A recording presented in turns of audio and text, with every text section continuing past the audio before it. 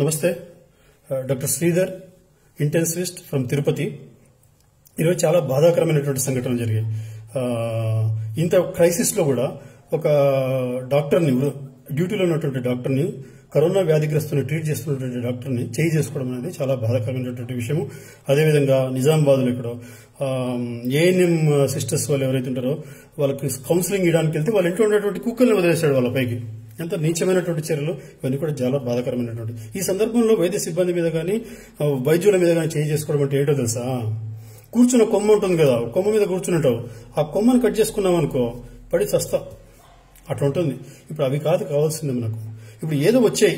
వాళ్ళు ఎక్కడో మసీదుకి వెళ్ళారు అక్కడ కేసులు జబ్బు తెచ్చుకున్నాం.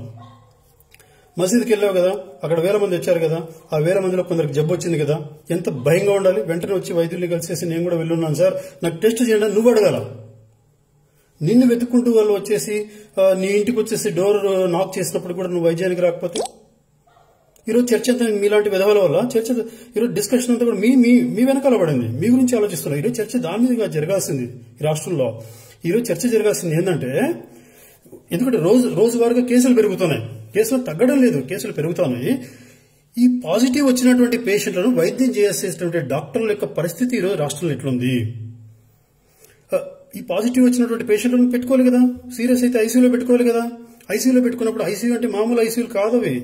నెగిటివ్ ప్రెషర్ ఐసీయూ ఉండాలి అవి నేను కూడా. నెగిటివ్ ప్రెజర్ ఏంటంటే గాలి లోపలికి మాత్రమే రావాలా బయటికి పోకూడదు. ఎందుకంటే ఇక్కడ నుంచి గాలి బయటికి పోయిందనుకో ఇంకా జబ్బును పెంచిన వాళ్ళం అవుతాం అటువంటి ఐసీయూ రూమ్లు ఎన్ని తయారు చేస్తారండి? నెగిటివ్ ప్రెజర్ ఉన్నటువంటి ఐసీయూ రూమ్లో తయారు చేశారు. తర్వాత అటువంటి పేషెంట్ వైద్యం చేయడానికి పోవాలంటే డాక్టర్ గానీ సిస్టర్ గానీ హజ్మత్ సూట్ అని ఒకటి ఉంటుంది. Hazmat suit. హజ్మత్ సూట్ అంటే దాంట్లో అన్ని shield everything will be covered. Face తల మొత్తం క్యాప్ మొత్తం సూట్ వేసేసి number of layers of gloves ఉంటాయి. లేయర్స్ నంబర్ ఆఫ్ లేయర్స్ ఉంటాయి. షూ ఉంటుంది. అటువంటి సూట్స్ ఎన్ని ఉన్నాయో చెప్పమని చెప్పండి. దమ్ముంటే.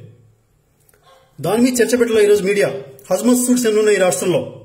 పేషెంట్లు ఏమో వంద మంది అంటున్నారు. ఇంకో ఇంకా అవసరమైతే ఇంకో వంద మంది అని కూడా చెప్తారు. ఒక్కొక్క పేషెంట్ ట్రీట్ చేయాలంటే షిఫ్ట్కి ముగ్గురు డాక్టర్లు అవసరమవుతారు ఆరుగురు సిస్టర్లు అవసరమవుతారు.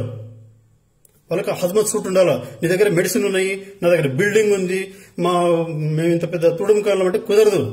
ట్రీట్మెంట్ ఇచ్చేటువంటి డాక్టర్కు హజ్మత్ సూట్ ఉండాలి సిస్టర్కి హజ్మత్ సూట్ ఉండాలి. అప్పుడే పేషెంట్ ముట్టుకోగలుగుతాడు లేకపోతే డాక్టర్ డాక్టర్ కుటుంబము సర్వనాశనం అయిపోతుంది. మీరు ఇస్తున్నటువంటి ఏంటంటే మాస్క్ ఇస్తున్నారు గ్లవ్ ఇస్తున్నారు క్యాప్ వెళ్ళేసి వైద్యం చేయాలి ఓ చినిగిపోయిన ఆపరాన్ని ఇచ్చేసి ఎలా ఉందంటే ఇది ఒక లాఠీ ఇచ్చేసేయి పోలీస్కి. ఎదురుగా ఏకే ఫార్టీ సెవెన్ గన్ పట్టుకున్నట్టు వాడు. వీడికి లాఠీ ఇచ్చి పంపించినట్టు ఉంది. గెలుస్తాడండి ఆ పోలీసు? ఇది అలాగే ఉంది. కరోనా వైరస్ అత్యంత ప్రమాదకరమైనటువంటి వైరస్. దాని మీదకి మామూలు గ్లౌస్ ఇవి ఇచ్చేసి పంపిస్తారు. ఈరోజు మీడియా చేయాల్సిన చర్చ అది కాదు. ఏ ఎన్ని బెడ్స్ రెడీ చేసుకున్నాము? ఐసీయూ నెగిటివ్ ప్రెషర్ ఉన్నటువంటి ఐసీయూ రూమ్స్ ఎన్ని ఉన్నాయి? ఐసీయూ బెడ్స్ ఎన్ని ఉన్నాయి? డాక్టర్లకు protective personal protective equipment PPE అంటారు. ఆ పీపీ అంటే ఈ హజ్మత్ సూట్స్ ఇవి ఎన్ని ఉన్నాయి? వాస్తవంగా చెప్తున్నానండి ఈ రాష్ట్రంలో హజ్మత్ సూట్ అనేది వాళ్ళు ఇంతవరకు చూడలేదు. ఇంతవరకు చూడలేదు వాళ్ళు. దాని మీద మనం పబ్లిక్ అందరూ కూడా it's public health emergency. Public health emergency. డాక్టర్లది కాదు ఇంకోటిది కాదు. అందరిది నీది నాది అందరిది ముఖ్యమంత్రి దగ్గర నుంచి అందరిది.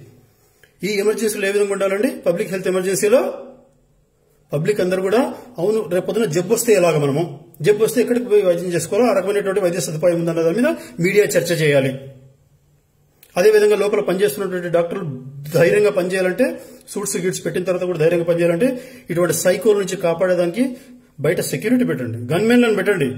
ఈరోజు ప్రజాప్రతినిధులకి గన్మెన్లు అవసరం లేదండి. మీరు మీ శత్రువు దగ్గర పోయి నిలబడినా కూడా ఆ నిన్ను ముట్టుకోడు. ఎందుకంటే వాడికి వైరస్ వస్తుందేమని చెప్పేసి భయం. అటువంటి పరిస్థితి. మీ గన్మెన్లు అవసరం లేదు. డాక్టర్లకు గన్మెన్లను పెట్టండి. హాస్పిటల్ బయట గన్మెన్లను పెట్టండి. ఎవడైనా ఇట్లా పిచ్చి పిచ్చి చేస్తే చేసి ఎత్తి లోపల ఇచ్చండి అప్పుడు భయం వస్తుంది. కాబట్టి ఇమ్మీడియట్గా వాళ్ళు ఎవరైతే దాడి చేశారో వాళ్ళ మీద కేసు పెట్టి తీరాల్సిందే. డాక్టర్లకు personal protective equipments hazmat suits negative pressure ICUs negative pressure ఉన్నటువంటి రూమ్స్ ఉన్నటువంటి ఐసీయూస్ కావాలి ఈ రోజు అటువంటివి ఏర్పాటు చేయండి. అవి ఎన్ని ఏర్పాటు చేస్తారో చెప్పండి. మీడియా డిమాండ్ చేయాలి ఇవి పబ్లిక్ డిమాండ్ చేయాలి? పబ్లిక్ అవసరమే సోషల్ మీడియా ఆధారంగా ఇదే పదాలే డిమాండ్ చేయాలి. ఏం ఏర్పాట్లు చేశారు? కేసులు ఏమో పెరుగుతున్నాయి. దీని మీద ఎక్కువ చర్చ జరగాలి. పనికి మాలిన విషయాల మీద కాదు. వాడు ఎక్కడికో పోయాడు వాడు అడుక్కు తిని వచ్చాడు. ఏ ఆడన్నా సావని. జబ్బు వచ్చిందా లేదా? జబ్బు వచ్చింది. వైద్యం చేయాలంటే ఏం కావాలి? రేపు ఆడికి వస్తే రేపు ఇంకోటికి వస్తుంది. కాబట్టి అందరూ కూడా దీన్ని గమనించాలని చెప్పేసి మీరు అందరూ కూడా ప్రభుత్వం నిలదీయాలి. అందరూ కూడా మీడియా తర్వాత పబ్లిక్ ఎవరైతే ఉన్నారో పిచ్చి పిచ్చి వాడు డిస్కషన్ పెట్టి దాని అంటే వెళ్ళకండి. వాంది తప్పు వీధి తప్పు అని వెతకండి. అందరం ఒక మాట మీద ఉండాలి ఇప్పుడు. ఒకవైపు వైరస్ ఇంకోవైపు మనుషులు. అంతే. ఇంక ఏమీ లేదు దాంట్లో. అక్కడ ముఖ్యమంత్రి కావచ్చు ఇంకోరు కావచ్చు కలెక్టర్లు కావచ్చు ప్రధానమంత్రి కావచ్చు వైరస్కి ఏం సంబంధం లేదు. ఎవరికైనా వస్తుంది దాని తగ్గ ఏర్పాట్లు చేసుకున్నామా కదా. యుద్ధం వచ్చినప్పుడు ఏర్పాట్లు చేసుకుంటాం కదా. ఇప్పుడు ఇది యుద్ధమే. కనిపించని శత్రువుతో యుద్ధం చేస్తున్నాము ఆ యుద్ధంలో చే- ఆ యుద్ధానికి కావాల్సినటువంటి ఏర్పాట్లు చేసుకోండి. డాక్టర్లను కాపాడుకోండి మెడికల్ ఫీల్డ్ని కాపాడుకోండి.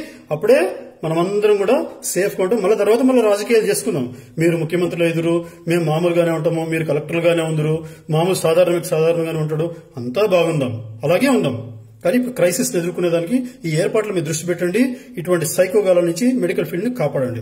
నమస్తే.